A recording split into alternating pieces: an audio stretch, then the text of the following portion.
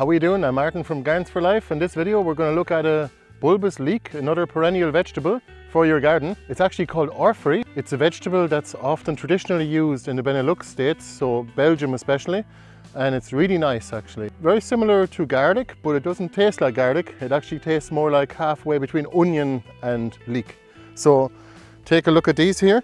These are the plants, so I, I've chopped the flower heads off them. Actually here's one that I didn't chop on time. So those scapes could be eaten, same as the garlic ones. However, I won't be harvesting these now because there's only this is the last one left just to show you. If you want to grow Oerprei in your own garden, take a look at our website. We have lots of different varieties of perennial vegetables and cuttings and plants as well. Thanks for your support. These could probably stay here for another while while they take some of the energy in from the leaves. However, I'm going to harvest half of my Oerprei here now, just because I'd like to get them dried up and sent off to you guys with your allium orders. So take a look at this. Let me try and pull that up. See if I can pull it up as it is. Sometimes it'll go. Okay.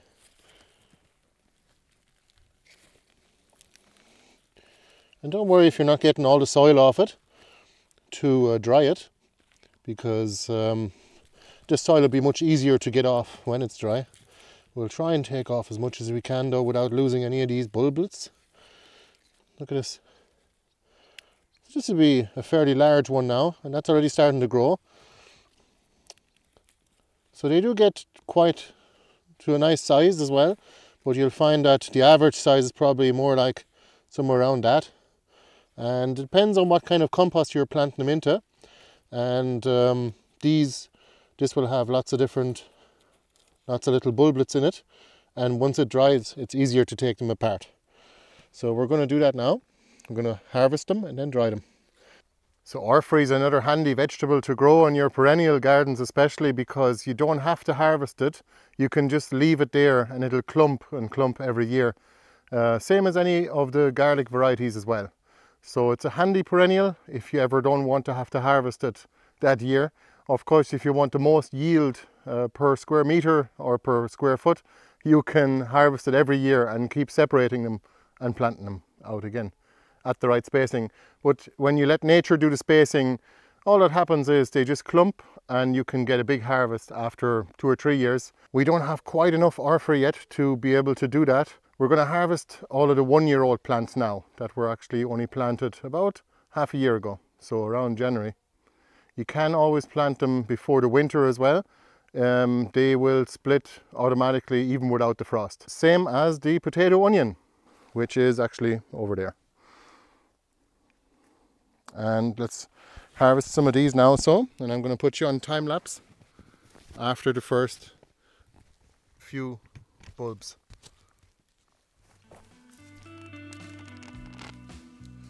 Most important thing is to try not to lose too many of these little of like corms but if you lose them they'll just grow again and that's okay. They, what I mean by lose is into the soil here because sometimes the soil can cover them.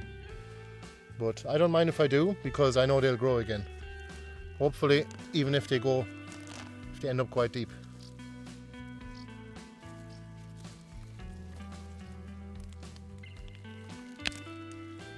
Sometimes they don't come up easily because their root system is quite strong.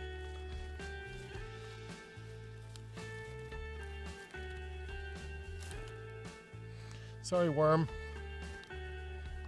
Sorry for all this disturbance.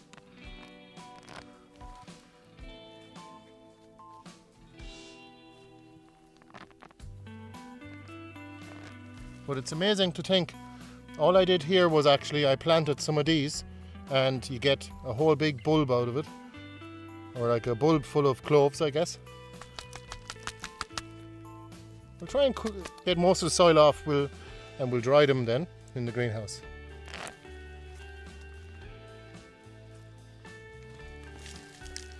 I'm very happy with that harvest especially considering there's been no maintenance almost on this particular piece of ground here, except for a tiny bit of weeding I had to do.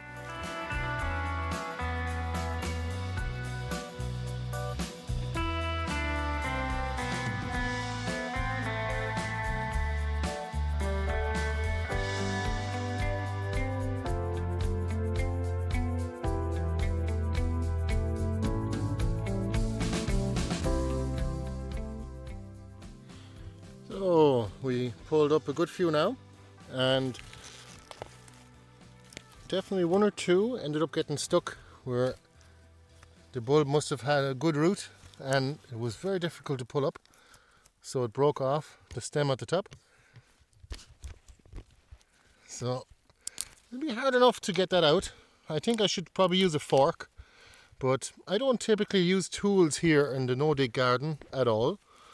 Oh except for gloves. Some people would say what kind of gardener wears gloves well I don't use a shovel or a rake so I'm a little different but I do work away some days I work away for hours and I don't want to be slowed down by a thorn or anything like that. I realize that it's healthy to touch the soil for all the bacteria that you get on your skin. However, when doing most jobs, I like to wear gloves because there's usually a nettle. As soon as I don't bring me gloves, it's very difficult to get these up just by hand. I think I should have probably used a fork. When I don't bring my gloves, walking down the garden, usually I see a nettle that's just kind of smiling at me because it knows that I can't really pull it up easily. But when I have gloves on, I can pull up nettles and briars. I appreciate they're very useful. However, we do have a lot of them. We don't want an acre of briars or nettles, or creeping buttercup for that matter. Look at that one, that's a nice one. So look at that, that only took me about five minutes to pull these up. And um, we'll probably end up with lots of them growing here, even after harvesting them. I'm going to leave them in the ground and just leave this a little bit of a, um, as a Oerprei patch for next year. And we'll see if it grows again. Same as the other tubers, for example, like the mashua or the Jerusalem artichoke. Usually you can't harvest them all. It's very difficult and that's a good thing because then they grow again in the same spot without you having to replant them. Or for and or having to buy seeds for that matter. That's the beautiful thing about these perennial vegetables. You never have to buy them again. As my stepmother always used to say sure what good is that if you sell your customers perennials they won't be back and i said jesus they'll always be back for something else once they're happy with the thing they got.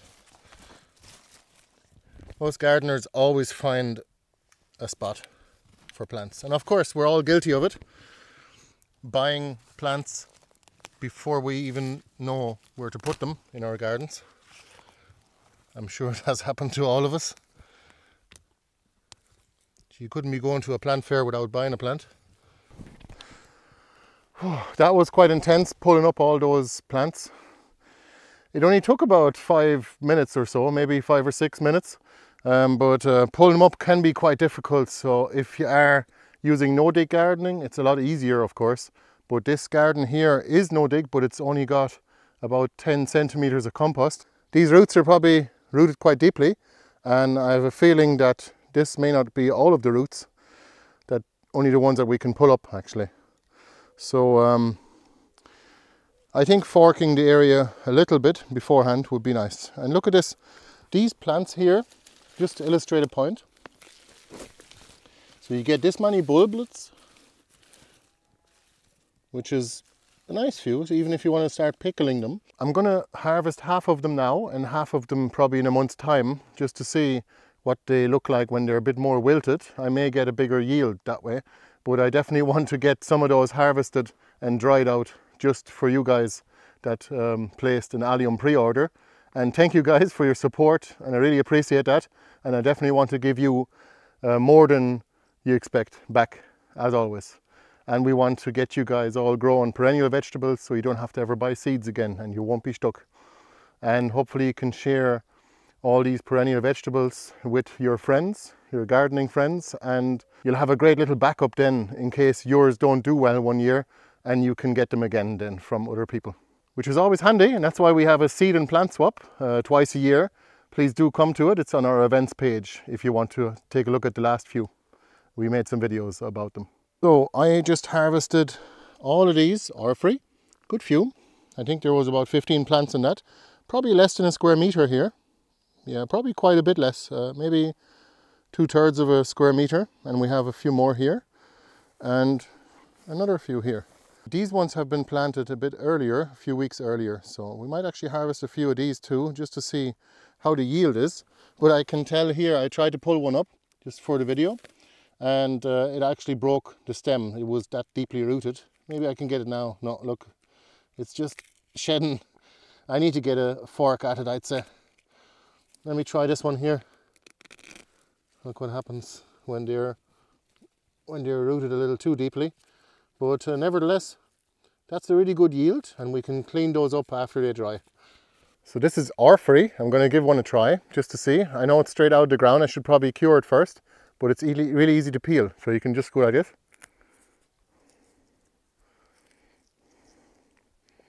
There you go. That's the peel. And that's the kind of like an onion inside it, but it's very mild actually. It's a kind of a leaky, leek flavored onion without the heat.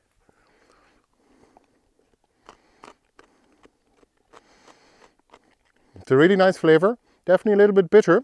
That's the usual defence the alliums have, especially the garlic family and the leek family too, any of the bulbous ones.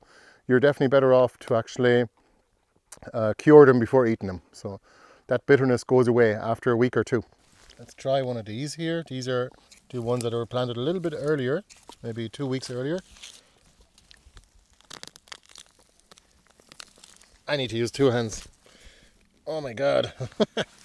Look at that, it's peeling. Oh. There you go.